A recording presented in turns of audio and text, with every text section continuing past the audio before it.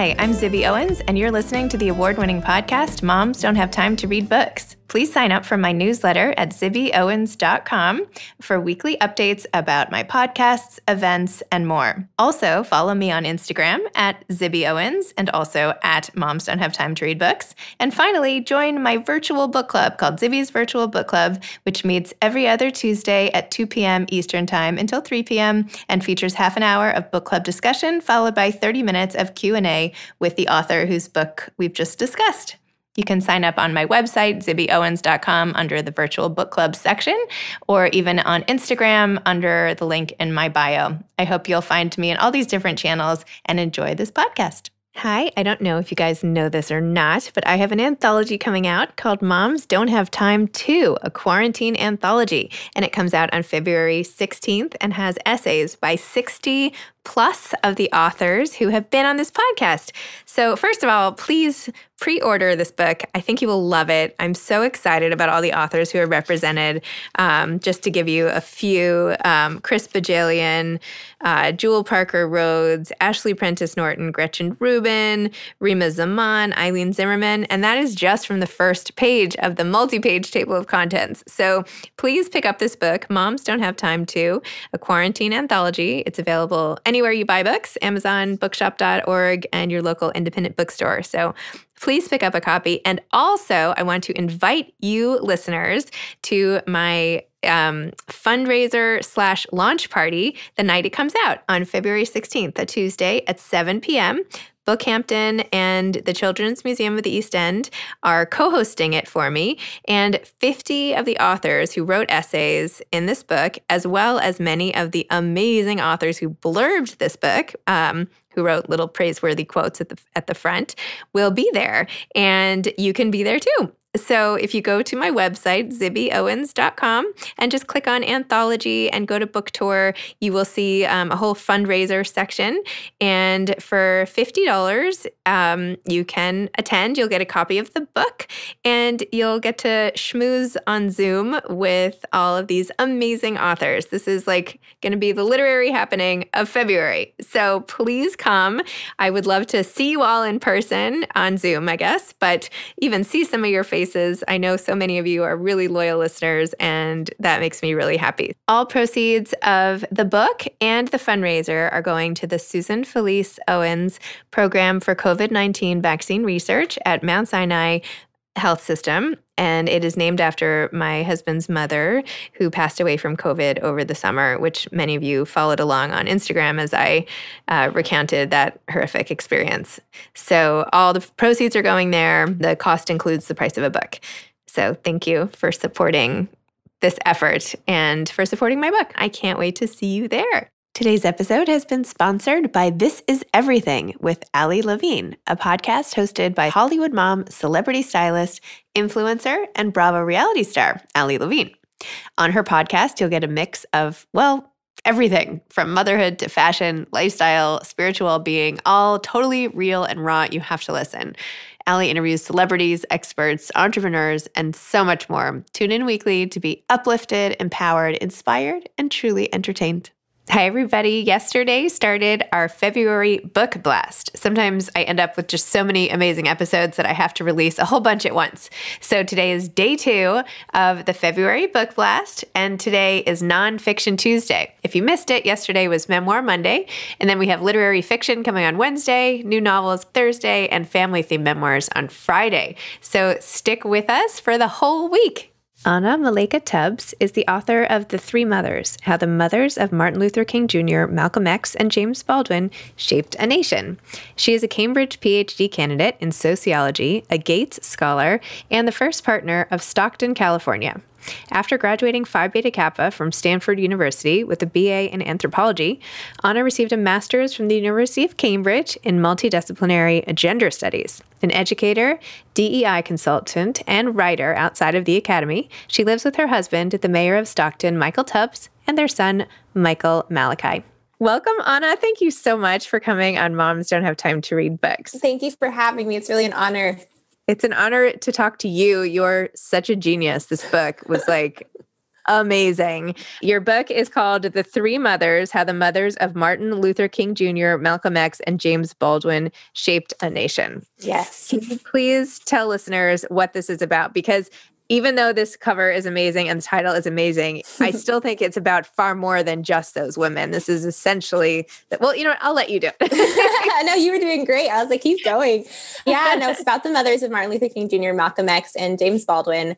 Alberta King, Louise Little, and Berdis Baldwin were their names. But it's also about what they symbolize in terms of Black American womanhood throughout an entire century of American history and what they lived to witness, but also what they lived to inspire through not only raising their children, but also through their teachings outside of their families and their communities, and in the many ways that they still inspire us today, even though so many people don't know their names. So it's all about telling their story, taking them from the margins, putting them in the center, away from the shadows, into the spotlight like they deserve to be all along. It's amazing. But you also go back and give us so much rich history of so many places, people, generations. I mean, some of the things, even from something like Deal Island and how that started, or how like the immigration from one country to another. And it's all like you painted such a picture of history in general. Like when I was reading it, I was thinking, okay, well, this is like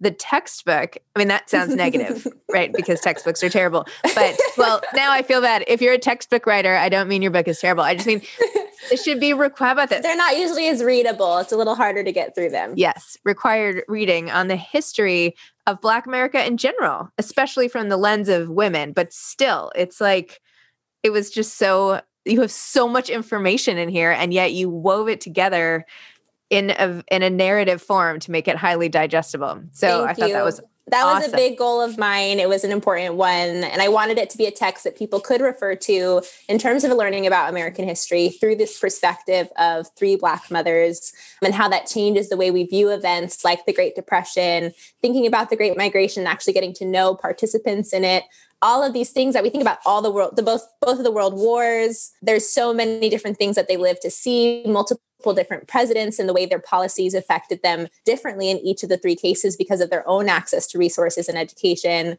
i think it allows you to better understand history so i appreciate you taking note of that yeah it's great it's like people are always like we should rewrite history and you did it. So there you go. thank you. Thank you. And I like how you threw yourself in the mix.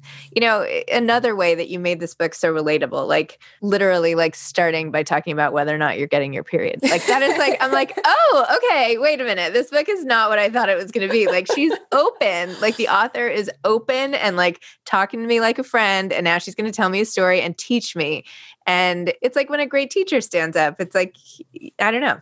And of course, that's probably that. what you're doing. You're getting your PhD and everything, right? So, like, what is your are you trying to be a professor or what's the goal there? You know, it's so interesting when you said the comment about textbooks earlier because I agree in many ways oh, no. they can be a little boring is, is the only thing. I definitely respect them for what they are and they're such important tools. And for all of my, you know, academic colleagues who do want to be professors yes, right I'm away, sorry. incredible. No, but for me, I'm actually not. I'm much more interested in public intellectual work. And that's why I wanted to produce a book that was very readable, very accessible, while also being a tool that could be used for education, but just in a way that's more fun and that you can connect with and it feels personal because I believe that Black feminist theory, gender theory, race, critical race theory, all were meant to help us better understand our world and to survive our world and change it. And it wasn't meant to be exclusive or kept within the academy. But I am grateful for my time in the academy. I am definitely a nerd. I love my degrees. I loved doing all the research to to earn them, but it isn't where I necessarily want to stay for now. I'm much more interested in talking to general audiences about what they think and contributing to current conversations because so much is happening so quickly. And sometimes when you're an academic and you're only talking to other academics, you feel like you're kind of missing out because it takes years to develop certain articles and get them published. And then it's only other academics who are reading them. And that's just not currently what I'm interested in doing. Maybe down the line I would become a professor, but I love just talking to everybody about what they think. And that's what I'm most excited about with the book, seeing what all these different people get from it and what they gain from it. Oh my gosh, you're going to have the most amazing conversations. I mean, there's so much in here. I was hoping I could just read this one point that I particularly loved. I mean, it's all the way at the end. I'm sorry, but it's part of Our Lives Will Not Be Erased. Yes. And you said, I cannot fully express just how much hurt and frustration the erasure and misrecognition of women and mothers, especially Black women and mothers, causes me. In my own life, I've experienced others demeaning me and questioning my abilities simply because I am a Black woman.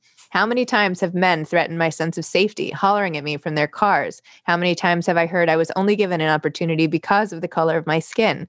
How many times has another person's looks or comments tried to make me question my worth? I cannot say there have been too many. I'm reading one more paragraph. I can't stop. Sorry.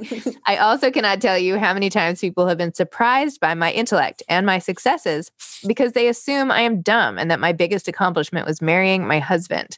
My own work has often been hidden behind his, not for lack of his appreciation, but because we still live in a world where women of color are not fully seen. And then you say, now that I'm a mother, this erasure takes place on new levels. I have stood at events right next to my husband while he was congratulated on the birth of his son. and then you keep going on and on from there. But wow, that's super powerful stuff right there. Thank that's you. amazing. Thank you. I think so many women relate to it and can feel, and I would love to hear your own experiences with that as well but so often we're just, we're taken for granted, especially moms. It's this kind of weird balance of everyone expecting us to do everything and get everything done. If we don't, then we're blamed for it, but we're never thanked for being the ones who are running the operation in so many different ways. And of course, that's different in different families, but in general, women are underappreciated we see this in the way that we're treated and lack of safety and general toxic masculinity. So I think part of it was adding my own personal experience to that so that people understand why this book mattered so much to me, but also to be someone who's saying, I see you, I see all of us who are going through this. And I hope that this book can be a part of changing that even your dedication i like started getting the chills like wait hold on i have to read this too and then i'll stop reading no i love it this is this is so fun you said this is for all the mamas you deserve respect dignity and recognition i honor you i celebrate you i see you so i don't know if you were talking to me but I took it. yes, please do. Please I'm do. sure you were. I mean, perhaps you were. I mean, I know this is geared. Well, it's not geared towards Black mothers, but it's mostly about getting the facts out into the world so that they are seen in a way that they have not been in the past. It truly is all for all the mamas though. And I actually define motherhood even more broadly than biological motherhood. It's like, you know, Patricia Hill Collins calls mother work the kind of work we do that's caring for others, the way we're bringing others up. You know, teachers are doing mother work, doctors, nurses, so many of our essential workers. So it is definitely a celebration, specifically of motherhood, very specifically of Black motherhood, but also for all of those that are doing work on behalf of many and who feel unappreciated, feel unseen. And it's our time. We need people to give us the appreciation that we deserve. There is nothing that they're going to lose by giving credit where it's due. Ooh, maybe there's some tie in here with my podcast. It's our time, you know? Something. And I love how you say that because that's also also what I try to say about listening to this podcast because it's not I don't mean just moms. Like they're caretakers in so many ways, shape, and form. And not that you even have to be a caretaker, but mom itself, the word is so limiting, whereas it's such a broad yeah spectrum of people caring for others these days. And anyway, content is for whoever wants to ingest it and i believe it'll find the right home so. Yeah.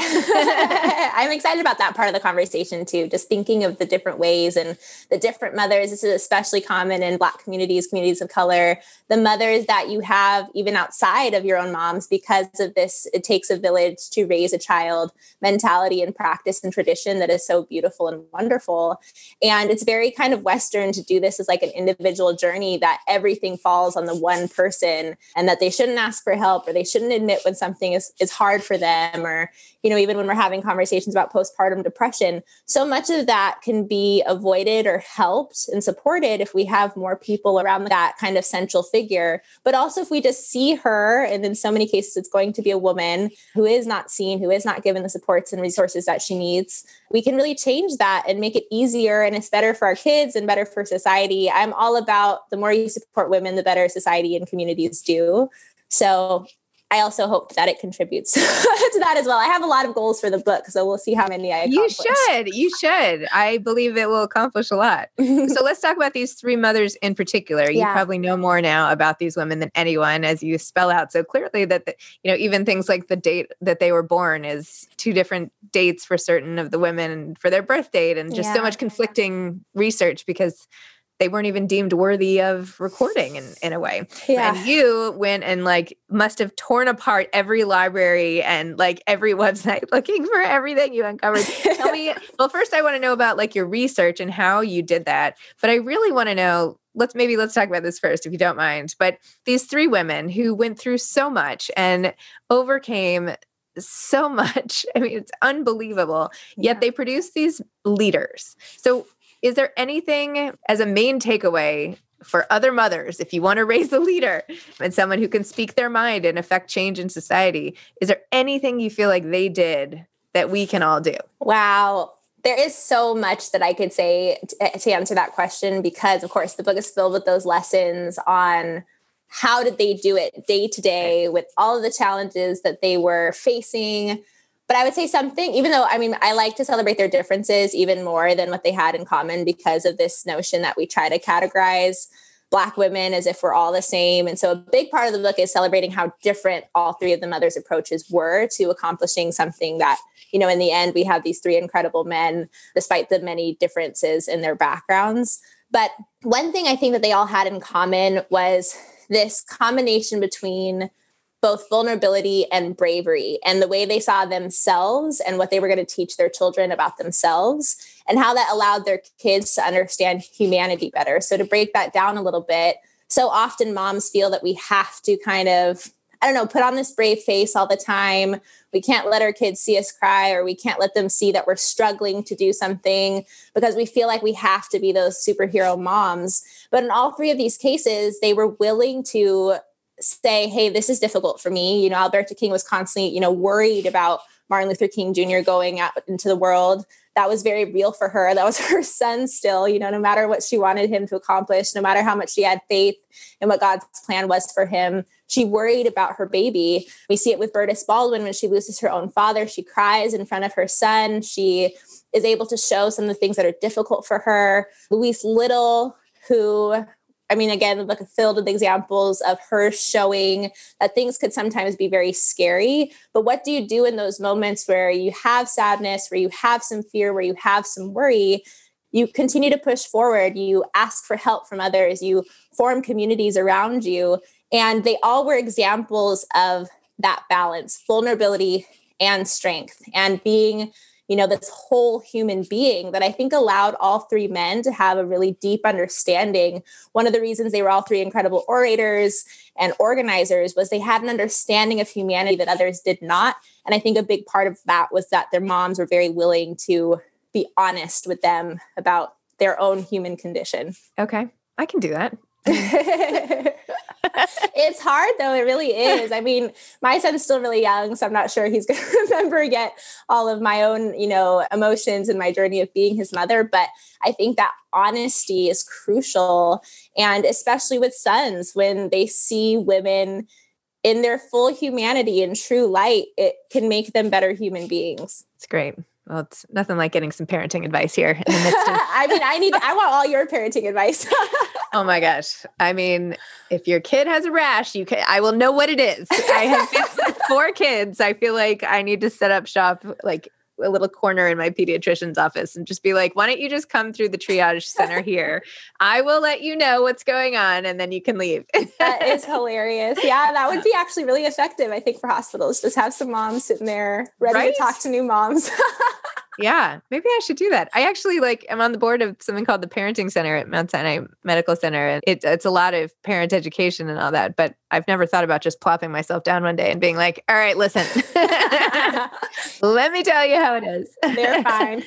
yeah, they're fine. I mean, my biggest parenting lesson that I feel like I probably say too much is that you don't have as much influence, I think, as you think you have. I mean, I think that my kids, each one is born the way that they are, and they're also different. And you know, their genes may be the same gen- generally, right? But they're completely different people. Yeah. And I just am here to sort of like watch them, you know, with my first kids, I was like, you know, on top of them, like, what are you doing? What are you doing? How can I make you better? You know? and at this point, I'm just like, huh, look at this. You know, my son's like redesigning his room. How about that? You know? yeah, the creativity. How wonderful. yeah, exactly. Exactly. So anyway, that's actually that's even, I mean, to that point with these three moms, they had several other kids and we so often only talk about their famous kids, but that's another really cool way to see even how they approach their different kids and their personalities and what they wanted to do with their lives and i think we can gain a little bit from from those lessons as well there was this show that i used to watch and it was only on for like one or two seasons and then it was canceled. And now i'm going to forget the name again. Something like bob and it was about when jfk and his brother bobby were boys mm. and it was trying to show like what did you see in them when they were boys? And it's it was a lot about their mom and how she was raising them. You oh, should oh, try to like that. dig it. Yeah, yeah, it feels like it's up my alley. Yeah, it's real. It was so good, and I was like, I am. Oh, it's called Jack and Bobby, and I am like the feel like the only person who maybe watched it, but I think maybe I was pregnant. There's some reason I was home watching a lot of TV. anyway, it's worth. It's sort of the same theme. It's like, well, what was it in their childhood? I mean, that's not exactly what you were doing, but you know, it's always yeah. so interesting to look back and see well could this have been the influence? And what about this? And how did she handle that? And or is it in spite of your parents that you end up becoming definitely that's a, definitely the case sometimes for sure. Well go back to how you dug up all this information and wrote this book especially you have your child your son must be like what one and a half or something? Yeah now he's 15 months Okay. It's like full on toddler mode. He's just running around and talking and has some Aww. declarative statements. We have no idea what he's saying, but he's really emphatic. oh my gosh. It's a really cute stage. How did you do this whole book at the same yeah. time? And or you must have done a lot of it before, but tell me about that. yeah, I started the research before we were expecting my son and started with my PhD program. But definitely the journey of becoming a mother while you know moving through diff- the different stages and then having my son while i was editing the book gave me this very rich deep personal connection to the three women that i'm really grateful for because motherhood can be an incredibly scary journey as much as it is really exciting but especially for black women in the united states and seeing what they were able to push through, but also the way they were able to transform their communities to better meet their needs brought me incredible inspiration. But in terms of the nitty gritty of actually finding all of this information around their lives, it was really hard. I say in the book that it was finding a needle in a haystack for every single, you know, even if you just take one paragraph, you'd have to break it down into almost like each sentence that I had to find a different fact in order to complete that one paragraph because information about them was so scattered. And then there were conflicting documents on you know what one person said versus another scholar versus you know all of these things. But that's what adds to the complexity of their humanity. And it's definitely a challenge that i appreciated. But what frustrated me most was how little there was out there because there's so much more about their lives that i think that I hope maybe the families will be more willing to speak about them now. One of the problems, maybe it's not a problem, but it's a challenge that they wanted to protect their moms. You know, these are three families who had been through so much scrutiny, so much inquisition from different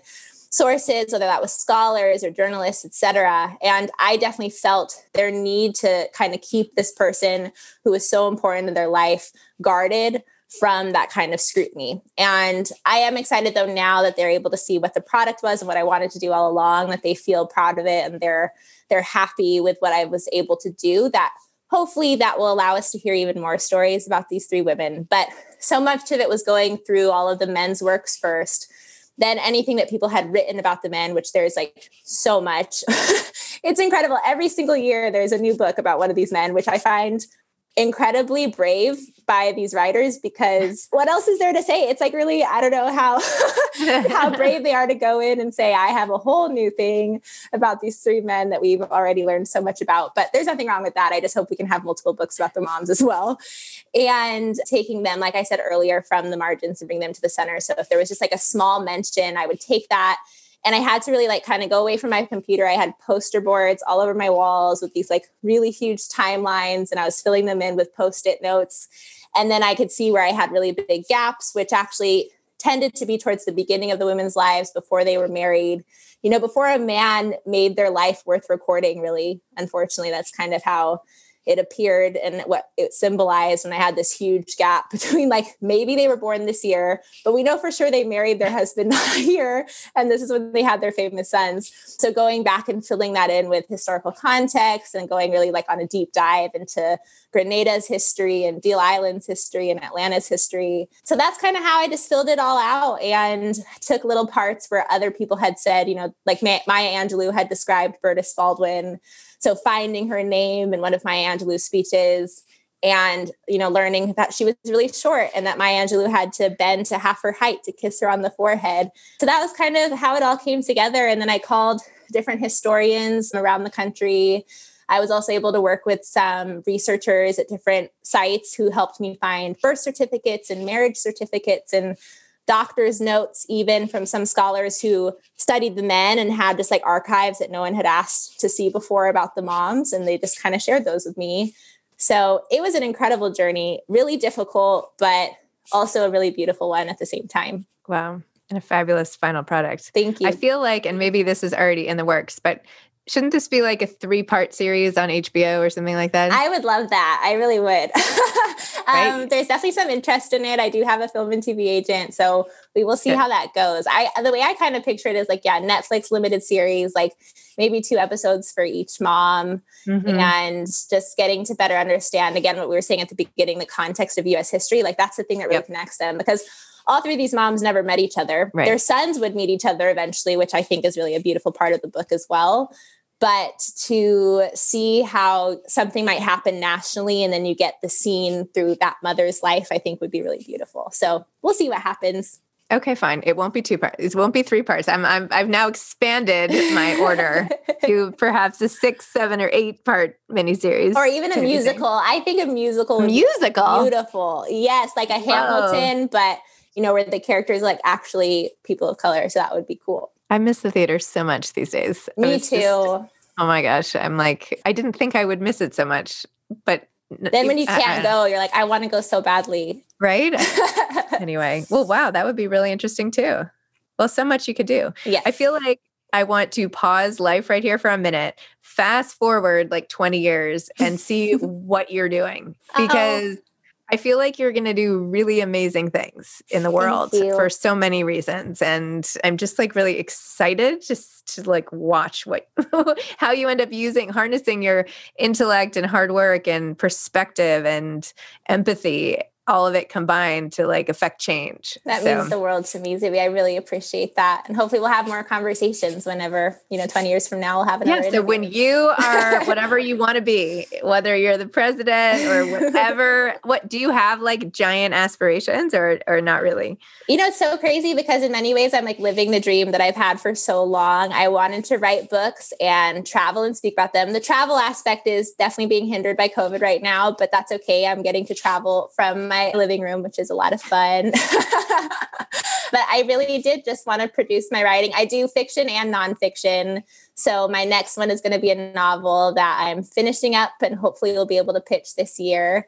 And just talking to people about it and getting everybody excited about things that can be complicated and theory that people feel maybe is overwhelming and that pushes you know them out of the conversation but that actually brings them into a welcoming environment where we can sit and talk about things that are affecting us as a nation and we'll see maybe that turns into like a tv show at some point or I don't know. I'm excited yeah. to see, but it's fun. And, you know, hopefully maybe having some more kids. I think that's a huge part of my journey as well. And I don't know what the future holds, but I'm really enjoying the moment. This is where I've wanted to be for a long time, and I cannot believe the book is is now out. So exciting! Well, enjoy it. I didn't mean to not give this moment its due. I was just like, no, I appreciate that. Yeah, I'm uh, excited too to see what happens. yeah. what about you? Where do you want to be? I just want to keep doing more of what I'm doing. Like I want to just expand all the things I'm starting, and I don't know. I, I'm like I just want to see where it all goes it's such a good position to be in where you're like, I love this and let's just do more of this on yes. bigger levels, bigger, bigger yes. scales. If I could just like replicate myself. Yes. That would be good. do you have any advice for aspiring authors? Wow. Yeah. I mean, I think so for me, I always talk about the fact that it was not an easy journey necessarily. You know, I am young, but I also applied to PhD programs four times. Didn't really find where I wanted to be, didn't get into all the programs I wanted to get into. It was really sad. And like every time I got this, these rejection letters, I was like, but everyone told me that I had done what I needed to do to like make it to the next step and I've done all the work. And then it just was perfect where I ended up and being at Cambridge and having the support of the Bill and Melinda Gates Foundation and being able to complete my PhD within three years. You know, I had become really obsessed with like doing an American PhD program that was going to take me, you know, like seven years. And when I wasn't getting into those programs, felt really dejected and felt like maybe I was not understanding what I was supposed to be doing with my life. And then now, you know, fast forward to finally getting into a perfect program and having my book out. So you just have to really like push forward past those rejection letters. There's going to be so many of them. You know, even if you want to not necessarily, I mean, self publishing is a different route, but if you want to work with an agent and you want to, you know, get a book deal. Some agents aren't going to work with you. They're not even going to reply to your query letter, but you'll find the ones who believe in you. And then from there, it's just the ball just keeps rolling. So it's probably very cliche. I think everybody says this, and it's so much easier said when you've accomplished the thing than when you're in the middle of the struggle. But definitely from somebody who received a lot of rejection letters and who at times felt like maybe I wasn't doing what I really in my heart felt I was supposed to be doing, just to keep pushing, but also being understanding with yourself. And then with the novel that I'm hoping to pitch this year, I've been writing it for like four years. So it's a long, yeah. long process. And I remember other writers telling me that at the beginning, and I didn't really believe them. I was like, sure, you maybe had to wait that long, but I'm going to have this book out so much sooner. And I'm on like my sixth round of edits, and it's getting closer and closer each time. But it is a journey. So just kind of stick with it if you really love it. And it's definitely worth it once you're able to, to show the world your work. Perfect. Great. Well, Anna, thank you so much. Thanks for coming on the show and thank thanks for having amazing me. Amazing book and all of what you have to teach in so many different ways. Thank you so much, Zibby. I really appreciate the time. Okay. Take care. Bye. Bye.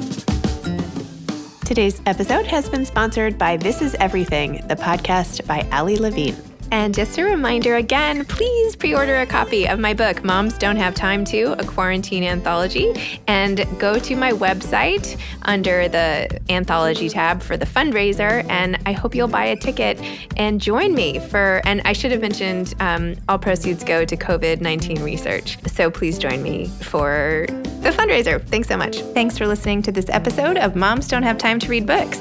Don't forget to follow me on Instagram at Zibby Owens and at Moms Don't Have Time to Read Books.